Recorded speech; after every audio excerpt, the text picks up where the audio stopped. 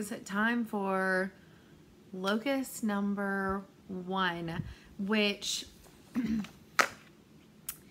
not gonna lie, the first time that I read this, I was confused as all get out. Like real confused. But the more um, I've seen people work on this because I am a little late to the game this month in getting this going because of other things going on. If you watch my regular Flossie videos, you'll know it's been a little crazy. Um, but we are getting started tonight. We're picking everything, or well, Siri is gonna pick things out for me.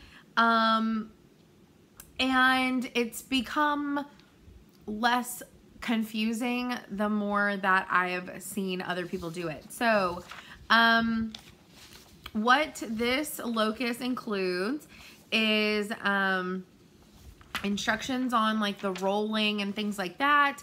Um, a math page to help you figure out how um, many repetitions that you need to do to make your stitch X big um, or small, um, depending on which border you got. And then you have a page with um, a template of the borders patterns.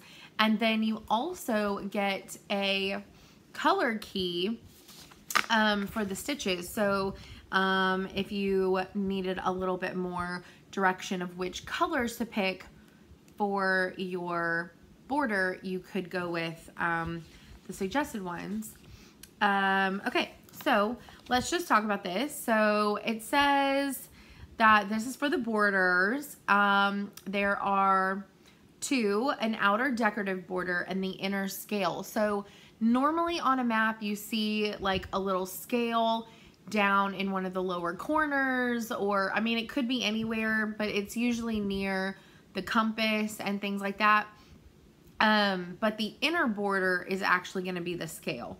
And then um, there are three different borders that you can get. A leaf border, a rope, or the pennies. Now, rule number one, it literally says it on here. Nobody is watching you roll. If you roll something you don't like, you can take a mulligan or simply adjust the die to show a more desirable outcome.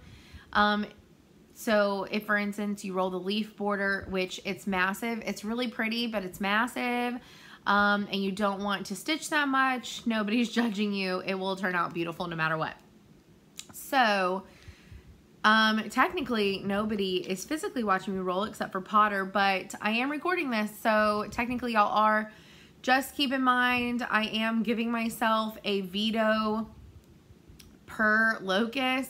So if I happen to get the leaf, I will probably veto that decision.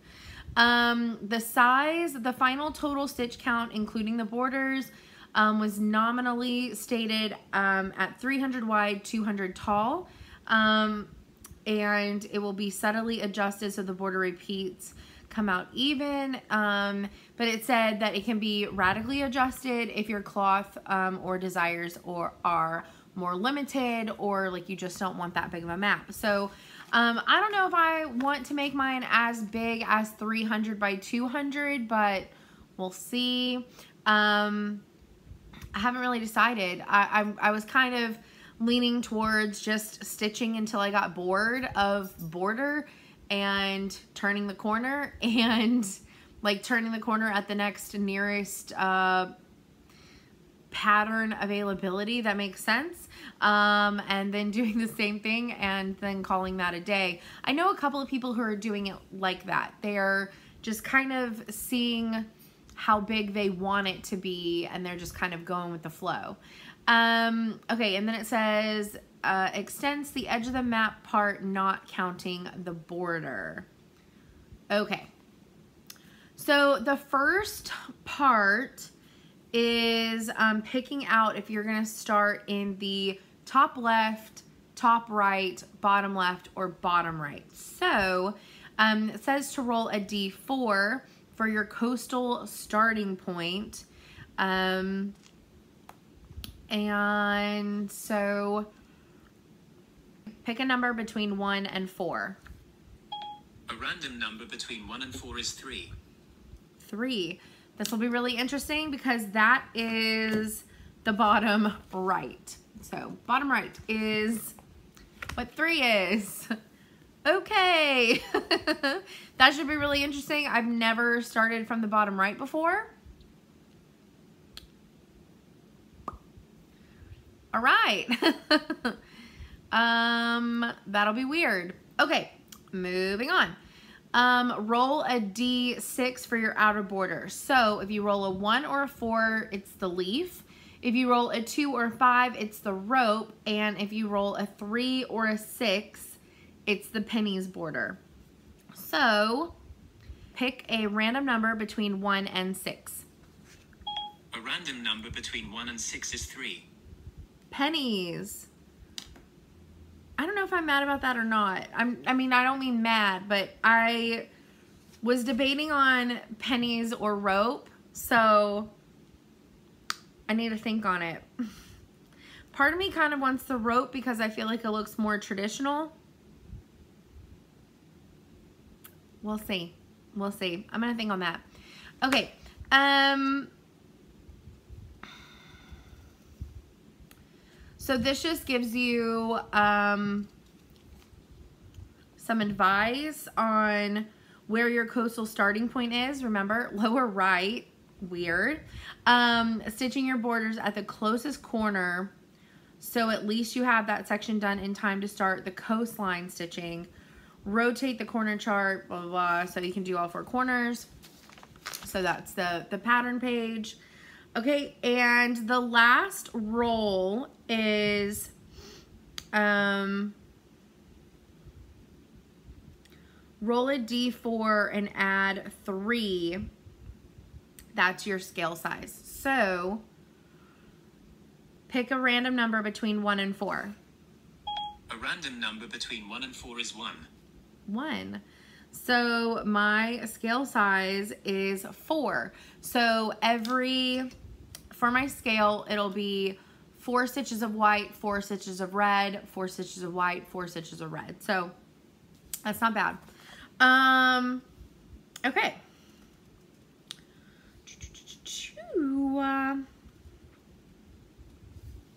Okay. Um, let's see.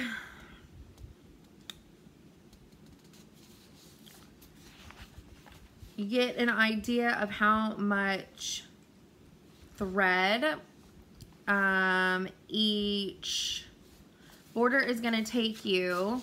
Um, and then there's the math to get you going um, to figure out how many times you repeat a section. Um, I think I am going to play a veto here and I think I'm going to choose the rope border um, I just personally, I just like it a little bit more. Um, like I said, the leaf is gorgeous. It's beautiful. I've seen several people already do that one. It looks fantastic. Um, I forget who. I want to say it's Katie, but she's doing it in Kreinik, which is amazing, slightly insane, but amazing. Um, and I like the pennies as well, but I don't I don't know. I don't like how the pennies has like a weird corner and I get why it does because it's supposed to look like pennies. But um, the rope just looks more simple, traditional to me. So I'm going to veto and go with rope. So basically, um, the rest of this video for borders is um, every time that I get to work on it, I will do a check-in with you guys um, like at the end of each day. So um, you're just to see some little check-ins for the rest of this video. So until then, it is the next morning. I did start my map last night, but I probably got about nine stitches in. Um, so I have been working just a tiny bit this morning. Uh, so you'll get another update today. But um, I did go with the rope uh, border. And so it's a significant amount of black. Shocker. I don't think I can do any project that doesn't have like at least 17 skeins of black in it. I'm just joking. But, um, okay, so I just started on the black outline, but it's supposed to have, or it's supposed to have, it's charted to have, I'll say it that way, it's charted to have um, a darker and a lighter gold, red and white, and then like a grape plummy color. And I'm going to change it up. I, I'm only going to do, use five colors instead of, is that six? Yeah. Okay, so I've got my black, and I think I'm going to use DMC's 111 for the gold and just take it as it comes uh, as far as like the variegation. And so like some areas will be darker, some areas will be lighter um, and blended in as I do the frame. I think that could look really cool. So I'm gonna go with that. And then for the plum outline, um, I'm gonna use DMC's 99. So I should probably hold it up. So this color is gonna go in between the little rope rope pieces. And then it's that color. Um, and then for the red, for the scale, I don't know why, I'm just feeling like doing all the variegateds just for the outline. I don't know how much I want to get into variegateds inside the map until like, you know, uh, I'll probably feel different once we get to uh, the land pack and the and the water pack but anyways. Uh, shish kebab. I'm thinking for the scale, I want to do 115 just to give it a little bit more dimension and then just white. So that's kind of the order that it's going to go in with black in between everything. But um, I don't know. I think that'll look really cool. So um, I'm just working in my hoop right now. So this is this is the lower right side of the fabric uh, where I was supposed to start. Um, and funny enough, on the, so there's a paper in this kit. I'll kind of like, I'll kind of like doodle it out. It's like this. Okay, so there's like a pattern of the leaf corner, the rope corner, the penny corner, and then some like scale stuff. Um, and so you can just turn the paper whenever you get to each corner to know how to flip that corner. So I'm eventually gonna have to print this out three more times whenever I get to the other corners um, just because of how like the rope in the corner is done. Um, that's where the penny that's where the penny border would have been easier, but I just wanted it to be more square, I think. I think is honestly what it is. More traditional, more square looking. It's just personal preference. That's why I vetoed it. Um, so, um, I'm going to just slowly build this out and um, I'm gonna at least get this corner done um, and then I will probably I was gonna like move across um, but I don't know. I don't know. I might go up and then I don't know what I'm gonna do. I might go across just to get kind of the longest side of it figured out. And then then I'll go up. Not really sure. But if it's 300 by 200 the section um the section of rope frame on the sample page is about 55 stitches. So 55, no, right at 60 stitches. So, um, fair, fairly, I have a fourth. You know, this is like the height of a fourth of it. So, I don't know. Maybe I will make it the recommended size.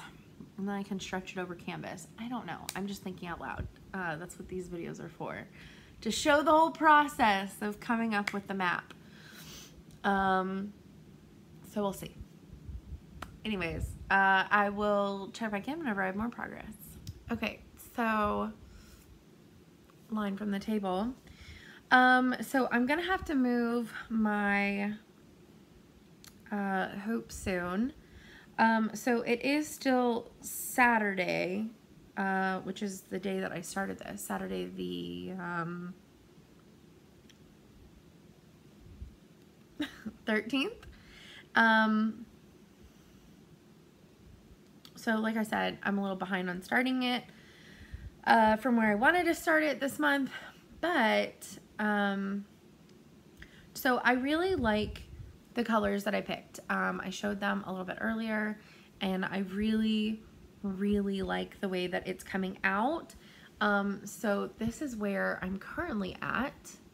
I'm putting in the white right now, but um, I think I'm going to go ahead and move up um, the top before filling in the color on this corner. And there's a couple reasons for that. Oh my gosh. Can you please let go of my fabric without ripping it? Please? How did I wiggle this in there? Jeez, okay. Apparently I'm really good at possibly ruining fabric. Okay, so I definitely don't think I'm to hit 200 by 3. I don't know. Because this is about... Um, I don't know. It's going to be... I'm probably going to do just one more of the same length. So mine's probably, because I started it way too high on this fabric, um, but it's okay because I didn't want it to be like the most massive thing ever. Um, so I don't know, mine is just going to be a little bit smaller, which I'm perfectly fine with. Um, so you can kind of tell that my gold, so that's kind of how I'm doing it um, dark to light and then starting with dark to light again in the gold. And I'm happy. I think that's really, for me, I think it's really cool looking. That's how I feel about it. Um, and then for the inside like plummy border, I'm using the 99.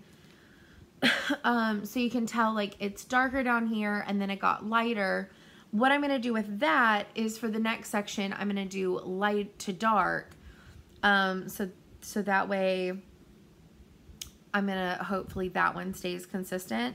Um, and if I get back down to this corner um, and I'm at light or something, then I will finagle a piece and make that work. Um, and then the red uh, for the um, for the scale I'm gonna do the same thing as the plum. So you can tell it was darker uh, which kind of matches ish the plum color. You can tell a difference but it's it's kind of matchy.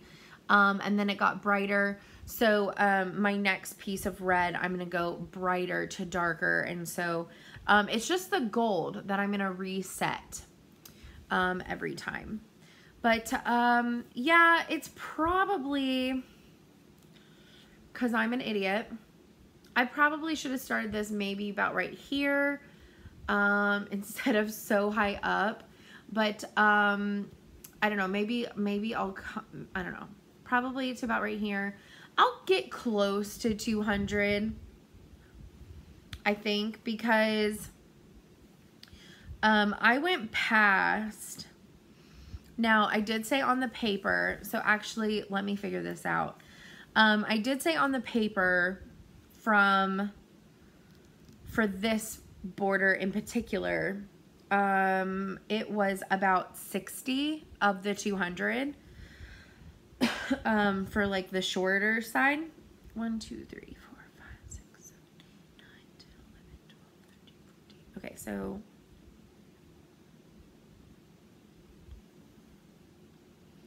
Okay, so this one right here is at 60. Um, so it's probably another additional like 20. So I'm about at 80. So, I mean, yeah, I'm going to get just under 200, I think, or right at. So I'm not mad. I'm, I'm definitely not mad about that. And then, um, I don't know how far over I want to go. I haven't really, I haven't overly thought about that. Um, but that's why I want to do up first. Um, so I'm, I'm trying to get some of this white. I'm trying to get the white up to the point where I am done. Um, so I've been working on that. Um, so that way I can move the hoop up because I want to have those two corners so that way I at least know my height if that makes sense. Um, and then once I, so that's my goal into tomorrow. And then, um, so that's my goal for the rest of tonight and tomorrow is to get to the second corner. Um, and even if that just means the black. But I don't think it will it doesn't, this one's going very fast. This border does not take that long compared to a lot of other cross stitches um, whose borders took forever. This looks really intricate, but it's honestly, it's going by real, it's really, really easy. Um, so anyways, um, that's where I'm at for, for right now. Um, I'll do another check-in in a little while or like at the full end of the night um, before I'm to go to bed. Um, and it's already, think 9 p.m., 9.30. So, um, anyways, uh, so I'll do another check-in at the end of tonight and then we'll talk tomorrow for sure um, about how far I get. Um, and then I'll probably put this away. Um, like I said, I just, I want to get to that second bend, whether the colors are filled in or not.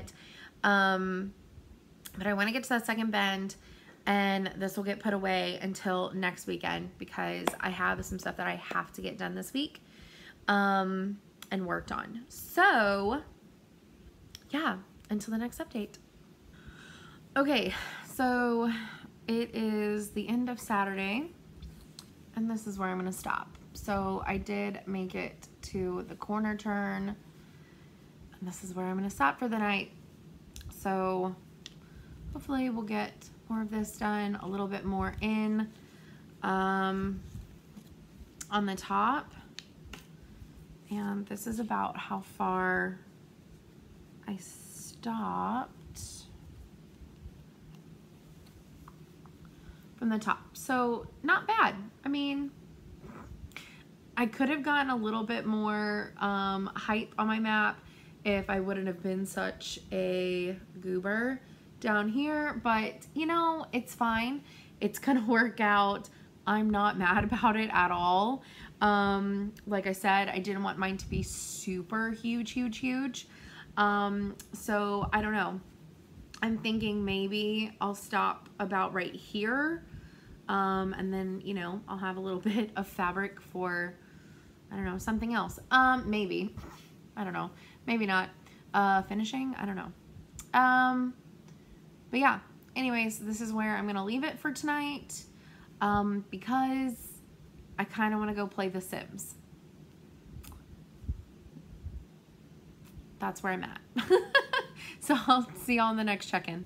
Okay, so not gonna lie, it has been a few days since um, that Sunday that I was working on my border of my map. So, um, I don't remember what exactly happened. I think a friend came over or something and I literally just forgot to record this clip so that way I could finish out the video um, because I'm a silly goose. So, um, anyways, this is how far I've gotten. So in comparison to my entire slab of fabric, um, I don't feel too bad about this. So this is my start. Um, let me fold it back up again. Um, I did one whole side. Fold it again. Um, I did one whole side and I got around to two corners. Um, I really like the colors that I picked. So um, in the rope, there's supposed to be a darker gold and a lighter gold.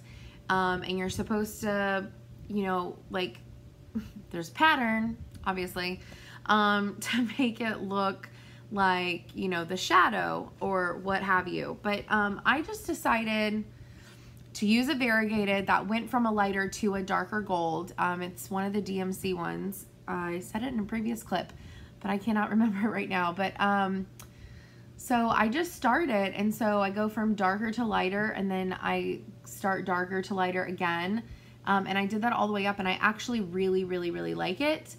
Um, this inside one is another um, DMC variegated, and so I'm just going dark to light and then light back to dark, and that's how I'm to do it all the way around the frame. Um, and then my scale pattern is white and then um, DMC's 115, which is the bright red to like a maroonish red color. Um, but I actually really like, I mean, there's a few spots where it's darker, but for the most part, it's brighter. I think it looks really good. Um, I don't know how well this is going to work with um, setting your borders, like your boundaries, um, since I only got one side done, but we will see um, how that goes. Um, but I wanted to have, you know, at least rounded two corners and established my height.